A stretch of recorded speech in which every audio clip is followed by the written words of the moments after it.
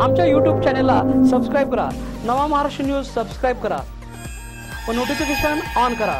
Notification on केल्याने आमचे update आपल्यापर्यंत सतत पोहोचत राहील.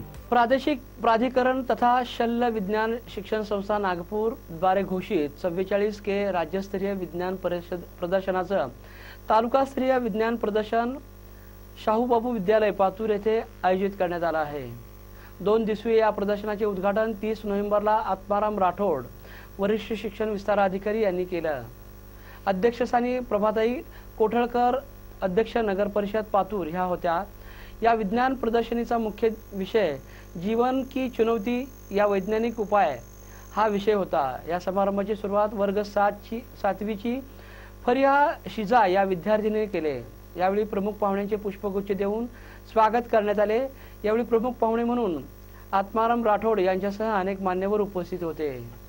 नवा महाराष्ट्र न्यूजसाठी पातूरहून अविनाश पोहरे.